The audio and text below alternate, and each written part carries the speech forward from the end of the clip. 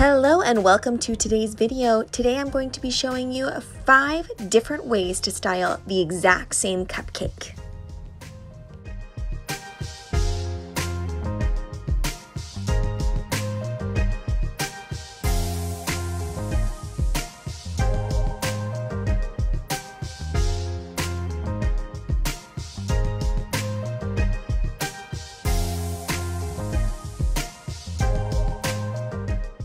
The recipe is in the description box. Today I am just making the half recipe because I have nobody to share these cupcakes with since I am in isolation. I have just been baking for myself.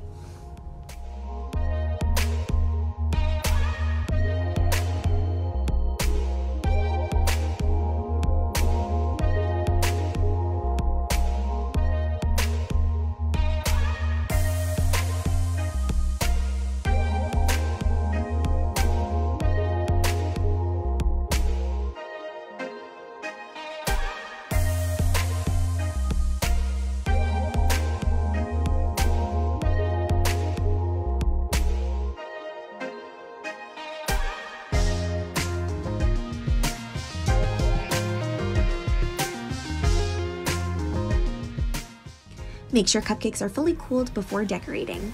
Here I am just doing a swirl starting from the center and going to the outside and you have a beautiful rosette. Using the same principle to start your next cupcake, you are just going to swirl and make sure that you have even pressure the whole time. When I was still making orders for people, this was one of the most popular cupcakes to get. It was just so simple and fresh and elegant, and brides loved being able to add in their own florals afterwards. This is some melted candy melts. Make sure that you follow the directions that come on the label or else you're going to end up with seized chocolate. I'm just laying down a bit of chocolate and then swiping a spoon and a pastry brush through it. Stick that chocolate into the freezer or fridge and pipe on your buttercream while you're waiting. You'll know that your chocolate is ready to come out of the fridge once it can stand alone by itself and be stabbed into the buttercream fairly easily. Here I am splattering on some gold luster dust mixed with a lot of vodka.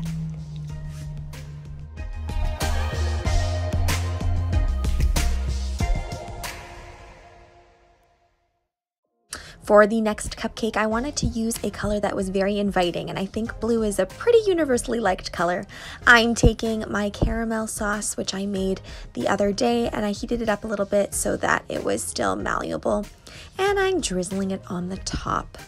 I'm going to add some chocolate sprinkles, and then I'm going to add some lovely chocolate chips.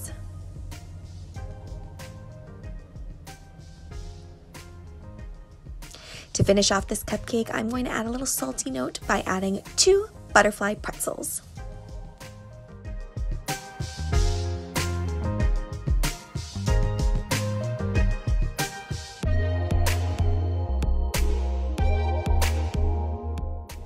I am by no means an expert at making chocolate spheres, but what I am doing here is I'm putting candy melts into the pots and using a ball tool to bring it up the sides. One tip that I can give you is to make sure that you really go right up almost past the seam. This will become really important when you try to put the two halves of the spheres together. After putting them in the fridge for a couple minutes, I am popping them out of the molds. These are super fantastic since they came out so easily. The trick to nailing these is making sure that you don't make your chocolate shell too thin or else it'll be impossible to put them together. We are on to our last cupcake and this is where I just really let my creativity flow. Here I'm just putting a bunch of icing colors directly into the piping bag, not mixing them up, and just seeing what I get. And I got this really cool abstracty rainbow color. I'm adding a bunch of sprinkles, a bunch of sprinkles. And here I have a macaron, and adding in that chocolate sphere we made earlier and some Pocky sticks. These ones are the Oreo or cookies and cream flavor. Mmm.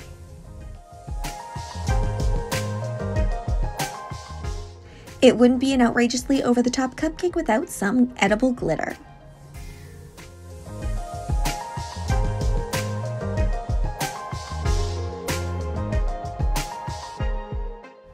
Don't forget to like, share, and subscribe to my YouTube channel so you can be part of the Sweetie fam. I am uploading daily at 6 o'clock p.m. Pacific Standard Time.